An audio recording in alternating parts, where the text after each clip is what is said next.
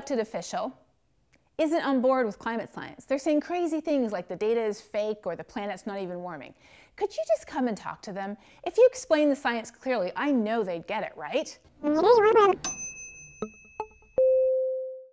When we hear people objecting to the reality of climate change, they often use sciencey sounding arguments. The data is wrong, they argue, or we don't know enough yet, we need to study it longer.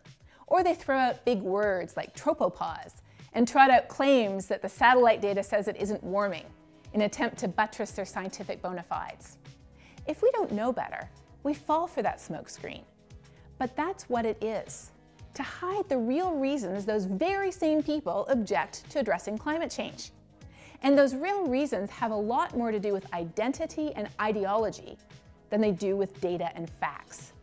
That's why the facts are not enough. More information will not convince the hardcore dismissives. In fact, social science shows that if rejecting climate science is related to our core identity, who we see ourselves to be in the world, then arguing over data and facts can actually be counterproductive. People see it as an attack on who they are, saying that they're a bad person even sometimes. And so they respond to that predictably, as any of us would if we were personally attacked, by digging in and doubling down. I'm a climate scientist. I study the physics that underlies our planet's climate system. And I know that the very same physics that we use to design airplanes and make our fridges work is what we use in our climate models today. So if we really reject the science of climate change, we have to get rid of our airplanes and our fridges and a lot of other technology that we use every day. And as far as I know, no one has. That'd be silly. So that's why, in my opinion, the greatest advances in our understanding of climate change over the last decade haven't come from the physical sciences. A lot of that stuff we've known for a really long time. The new advances have come from the social sciences, education, communication, even marketing studies that have opened the door on the human mind and how it interacts with information, especially information we don't want to know. Just because we know more about the science doesn't mean we're more likely to agree that climate change is real. In fact, Dan Kahan has showed that the more science we know, the more polarized we tend to be on climate change. And attempting to educate people runs the risk of simply deepening that polarization. Fine-tuning this result, though, it turns out that the type of knowledge matters. More information about the physical science, why climate is changing, for example, doesn't help. But information about how it affects us does seem to sway minds. And it's even better if that information is tied to something that we already care about. Don't start with the science. Instead, start by connecting over a value that you genuinely share with whoever it is that you're talking to. It could be the simple fact that you're both parents, or you live in the same place, or you enjoy the same types of activities, whether it's fishing, or hunting, or birding, or hiking, or running, or skiing. There's just one caveat. That shared value has got to be something real. We can smell pandering a mile away. I'm not a big hunter, so I wouldn't be the best person, for example, to go talk to a group about how climate change is affecting Texas's quail population. But I do have several colleagues who'd be great at that.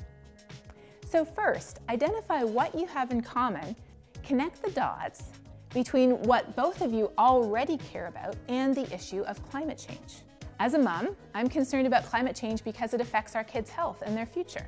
As a person living in West Texas, I worry about the impact of stronger heat waves and droughts, and even floods on our local economy. I'm not a Rotarian, but I am familiar with the group's four-way test. Did you know that climate change fits into it exactly? Is it the truth? Yeah, it sure is. Is it fair to all concerned? Heck no. The poor are being impacted far more than the rich, and that isn't fair. Will it build goodwill to fix it? For sure. And would a clean energy economy be beneficial to all concerned? For all but the fossil fuel companies, yeah, absolutely.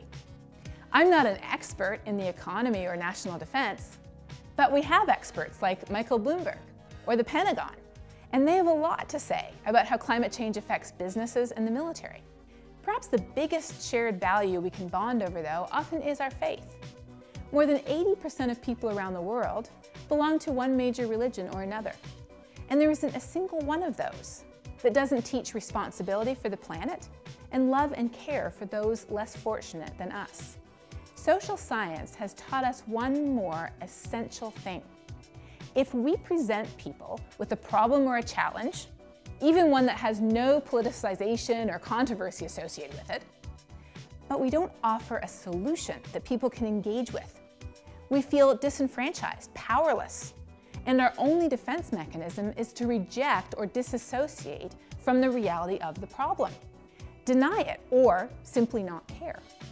That's true whether we're talking about the simple fact that you know, eating trans fats is bad for us or discussing how we should be saving more for retirement, or if we're talking about the need to tackle climate change. If we don't offer a solution, it starts to look unsurmountable. And so our brains just refuse to acknowledge that the problem exists.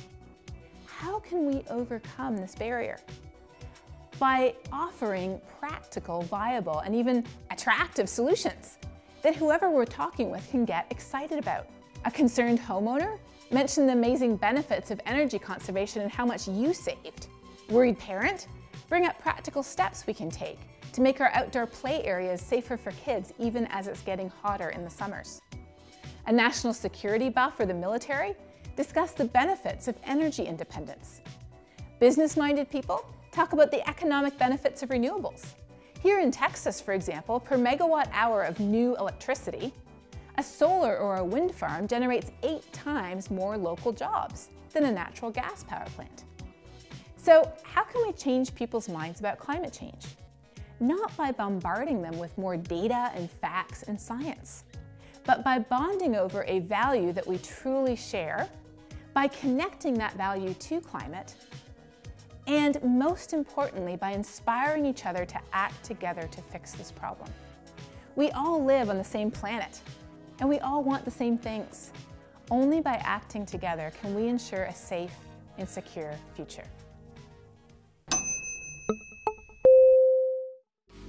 Thank you for watching Global Weirding.